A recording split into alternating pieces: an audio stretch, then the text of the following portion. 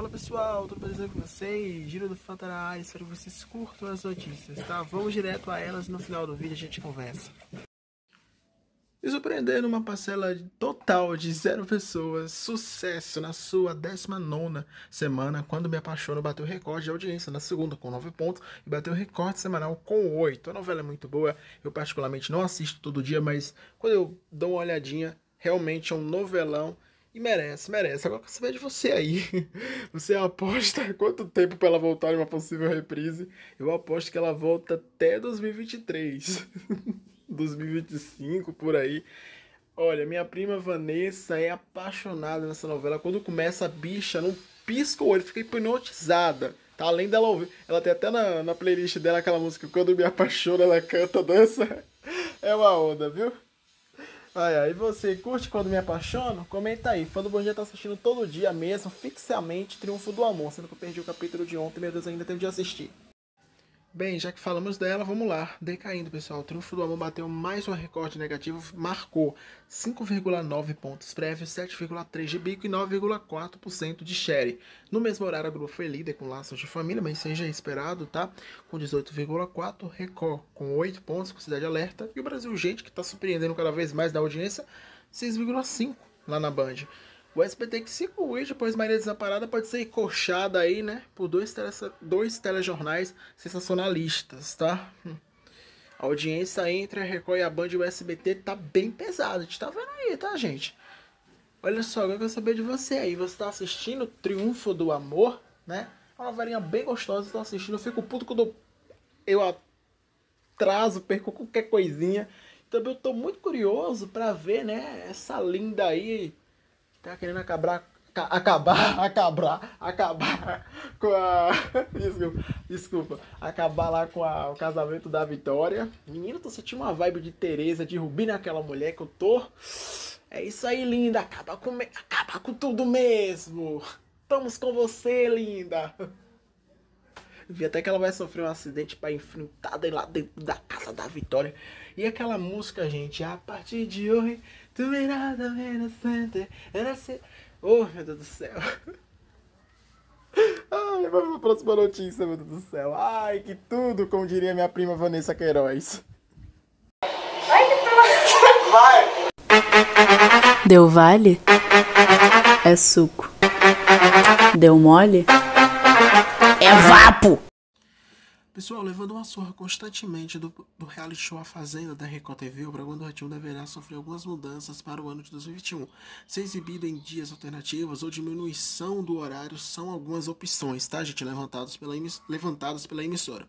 A emissora procura apostar em novidades, promovendo também outras mudanças. Eu acredito que o SBT, assim como outras emissoras como Globo, Record, Band, etc e tal, não deve. Não, não deveriam, acho que a Band deve, mas tirando a, a Band e a Record, eu acredito que de, deveriam sim mexer mais um pouco nas suas noites. Mas acredito que a Globo e o SBT, acho que deveriam só ajustar alguns horários. Não sei se vocês concordam comigo. Por exemplo, eu acredito que o Roda Roda, é, após o jornal, por mais que dê, sei lá, 10 pontos, seja a maior audiência da emissora, é, tá num horário errado se você olhar estrategicamente. Ele deveria estar tá sendo como se fosse uma ponte entre a novela e a faixa de linha de shows, sabe? Porque o público já, também já está acostumado, né? Porque acho que é na quarta-feira tem o Pra Ganhar é só, é só rodar, então... E vai bem, acredito que eles deveriam ter fixar naquela faixa das 10h15, 10h30, sabe? E depois, eu acho que eles deveriam tirar realmente o ratinho, ou então diminuir o tempo dele e apostar em coisas novas. Tipo, eu apostaria na Eliana, eu apostaria num cine espetacular um pouco mais cedo, apostaria em reality shows, eu apostaria, tipo, a Casa dos Artistas, Solitários, Bake-Offs, essas coisas, sabe? Cada dia da semana um reality, eu acho que seria muito interessante. Ou então voltar com a Casa dos Artistas, que ia dar muita audiência, muita repercussão, mu é, muito, muito faturamento, que é algo que o SBT tá tá precisando, né? E, e, e fará mudanças para conseguir isso ano que vem. E o Ratinho aos domingos seria perfeito. Já imaginou o Ratinho às 18 horas, competindo com o Faustão e entregando pro Silvio mais ou menos umas 9 horas, né? O Ratinho com 3 horas de duração, o Silvio também indo até a meia-noite. Eu acho que seria perfeito isso. Não sei se vocês concordam, tá? Comigo. Mas eu quero saber de vocês aí, o que vocês fariam com o Ratinho a programação do SBT na faixa noturna, tá? Comenta aí a sua grade, tá, gente? Eu acredito que eu acredito que o, o, segundo horário de novelas ter sido cancelado também prejudicou a média dele, porque as novelas sempre entregavam, mesmo as reprises infantis desgastadas ou não, entregavam com uma boa audiência, tipo 6, 8, sabe? Ele ficava naquela média ali, ele surfava junto. É, talvez se eles colocassem o roda-roda, né, gente, depois das novelas, talvez surgisse esse efeito também. Na verdade, eu preferia que né, eles voltassem com as novelas ou, as, ou 8h30 ou 8h45, terminando mais ou menos umas 9h30, emendando em outra mexicana, brasileira, infantil, não importa, sabe? Mas eu acredito que aquela programação, aquela faixa ali precisa de mudanças. Não muitas, mas precisa de algumas, tá? Também um jornal local, acredito que eles têm de, têm de mexer nessa faixa. Bora ver aí, faz, faz sua grade aí das 18 à meia-noite que eu quero ver, tá? E diz aí quais mudanças você faria também, né? Porque o programa do Ratinho, Eliana, Domingo Legal, Silvio Santos, Raul Gil, não mudam de, ca... não mudam de quadros há tempos, né? Eu lembrei disso agora, ainda bem. Aí vai pra lá, abelha. Em nome de Jesus, gente que chacota é isso aí, arena cacetada. Boa noite, meu Deus do céu, gente. Isso aí é obra dele.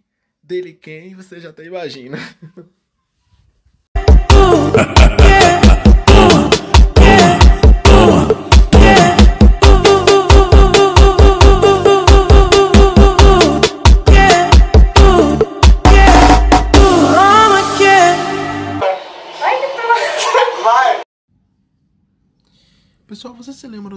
da Ive dessa edição do Big Brother, do BBB 20? Pois é, tá? ela, ela tá envolvida aí numa polêmica bem pesada envolvendo o noivo dela, tá? Que ofereceu sexo a uma ex-afiliar para pagar dívida. E o áudio, muito, muito explícito, é divulgado, tá, gente? Eu vou colocar aí, mas se você for de menor, passa longe, viu? Pelo amor de Deus. Deixa eu pegar a foto aqui, né? Aproveitar.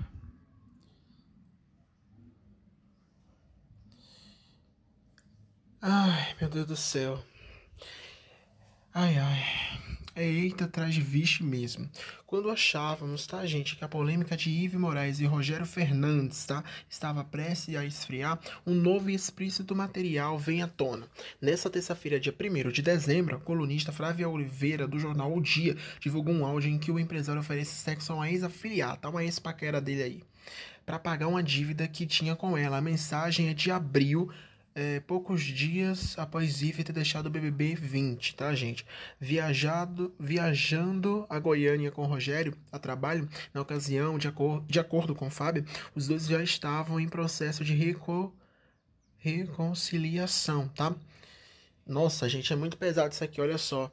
Eu posso te né, sugerir o pai do filho de Ive. Por fim, ele avisa que já está ficando excitado, mas, gente, ouça, tá? Vou botar aqui o áudio pra gente ouvir. Fechou? Bora lá? Eu posso te pagar tudo que eu te devo. Sentando a pica na sua buceta. E fazendo você gozar bem gostoso nele. Eu deixo você sentar nele também, bem gostoso. Te coloco de quatro, de frente, de lado Bom, você já sabe. Eu te faço gozar de todos os jeitos. Mas aí nós ficamos kits. O que, que você acha da proposta? é uma proposta tentadora. Nossa, meu pau até começou a endurecer aqui. Que eu posso te pagar tudo que eu te devo. Que é isso? Meu Deus do céu, tô chocado com isso, gente. E essa risada que ele deu, sangue de Jesus tem poder. Meu Deus do céu, né? Gente, como tem homem que acha que, sei lá, né, a mulher é um objeto, a mulher é sei lá o que, né? Oferecendo ele de procurar, né, honrar o que ele tem debaixo do das coisas dele, né, e ir lá pagar a moça, né, que ele tá com uma dívida com ela, imagino eu que até hoje, né, ele oferece o que? Ele oferece sexo com a, pra moça, né, acredito eu que a moça não quis, tá? E. E pelo amor de Deus, né, gente? É um absurdo em pleno 2020 a gente ver esse tipo de coisa. Mas, oh meu Deus do céu, viu? para saber de você. O que você acha de tudo isso? Ai, que nojo, gente. Ai. Ai, deu amarrado em nome de Jesus. Exclusivo, pessoal. Segundo informações, após negar o convite do BBB 20, Eric Johnson aceitou o convite desse ano, tá? Ao que tudo indica, Eric estará entre os integrantes do camarote do BBB 21. Eric estaria no BBB 20, mas desistiu, tá? Por causa do cruzeiro do Roberto Carlos, que nem teve. E o Babu entrou no seu lugar. Que bom, porque o Babu ficou uma figura bem mais icônica, né? É, bora ver aí. E você? Toparia entrar no BBB se você fosse famoso? Ou então você mesmo aí, né, que é igual eu, quer entrar, toparia, né? Se, se inscrever ou ser convidado? Ai, meu Deus do céu, gente. Eu toparia. Eu tanto me inscreveria. Aliás, vou me inscrever ano que vem, né? Tomara que eu passe. Para 2022 estar naquela casa, ó. Aí vocês vão me ver aprontando lá dentro. que eu vou entrar, eu vou causar, vou botar meu nome lá na história daquele programa. Vocês vão me ver, me aguarde minha participação. Ou na Fazenda, ou no BBB. Como diria a Luana Piovani, se acontecer vai ser um bafo. É isso mesmo. Tô com Luana Piovani. Se acontecer vai ser um bafo. Vocês me aguardem se eu um dia entrar lá dentro. Ai meu Deus do céu. Brincadeiras à parte. Brincadeiras mais ou menos que eu quero entrar mesmo, né? Se me convidar. Ó, tô disponível, viu? Direção da Fazenda, direção do, da Fazenda depois. Primeiro eu quero ir pro BBB direção do Big Brother, estou aqui, me chama que eu vou, e é isso aí. Se o Eren entrar, vai ser legal, né? Eu acho que ele vai entrar. Todo mundo já sabe que ele vai entrar, né? Ele e a André Surak, eu acho que ninguém mais se surpreende. e você, gosta do Eric Johnson? Acho que ele vai ser um personagem interessante lá dentro. Lembrando que é nada confirmado, tá, gente? Mas as informações são bem quentinhas, tá? E onde a fumaça, há fogo, não é verdade? Muitas pessoas que apareceram nas listas ano passado, quando deu janeiro, Estavam tudo lá, né? Boca Roça, Rafa, Manu, tudo lá, né? Graças a Deus, porque foi só, só ícone, né? Boca Rosa, infelizmente, foi justiça, injustiçadíssima. Não deveria ter saído tão cedo, tá? Mas tudo do querer de Deus. Bem, pessoal, do grupo de risco, a atriz Marieta Severo testou positivo, infelizmente, para o novo coronavírus nos estúdios de gravação de Um Lugar ao Sol. Trama que ela vai ser uma das principais, tá? Ela vai ser uma vovó do mal. né? A próxima novela das nove, né? Após Amor de Mãe, a continuação de Amor de Mãe. Desejamos uma boa recuperação para a lenda, tá? Eterna Dona Nenê. então é isso aí, tá? Vamos aqui torcer para que tudo dê bem com ela e também tudo se resolva para uma outra atriz queridíssima. Essa aqui também é veterana igual a Marieta, tá? Só que tem um pouquinho mais de idade é, que infelizmente está na mesma situação, só que um pouco mais pior. E vocês vão ver agora, tá? Bem, pessoal, com Covid-19, a atriz Nissete Bruno, tá? A grande atriz Nissete Bruno apresentou uma piora em seu estado clínico e precisou ser entubada. Segundo notícias da TV, ela está internada na unidade de terapia intensiva, UTI, tá? da Casa de, Sa de Saúde São José, em Umailta, no Rio de Janeiro. Desde já vamos desejar todas, todas as melhoras, tá? E muito consolo à família, tá? Porque é uma das grandes atrizes que a gente tem no nosso país, sabe? E infelizmente tá com Covid, mas se Deus quiser e Ele vai querer, ela vai se recuperar e logo logo vai entrar em alguma novela e vai atuar aquela grandeza que esses monstros, né, como Nissete Bruno, Laura Cardoso, Fernanda Montenegro, Tony Ramos, Glória Pires, eles atuam de uma forma que bota muito desses novos aí, né, no chinelo. Mas é isso aí, tá? São grandes nomes aí e se Deus querer vai ficar tudo bem, tá? Orem por ela porque é uma pessoa muito querida que é, marcou a vida de muitas pessoas, tá? Quantas novelas eu já não vi, seja inédito ou reprise com ela, minha mãe também, pô. Que vem, uau, é só seguir. Devagarinho, um menino maluquinho, que sou eu. Gente, se vocês forem novos ou novas, já vai se, já vai se acostumando, tá? Com as minhas maluquices, elas, elas serão bem recorrentes, tá? Mas aqui é um canal muito legal e recomendo que você se inscreva, ative o sininho de notificações, tá? Por favor, também deixa o like no vídeo, É, comenta também, deixa seu comentário. Meu Deus do céu. Comenta também, deixa seu comentário. Comenta, por favor. É, compartilha o vídeo, me segue nas redes sociais que tá aparecendo aqui no, aqui no cantinho, tá? É, fã do Bom Dia UFC. Me segue lá. Beijos e até amanhã. Paz e amor.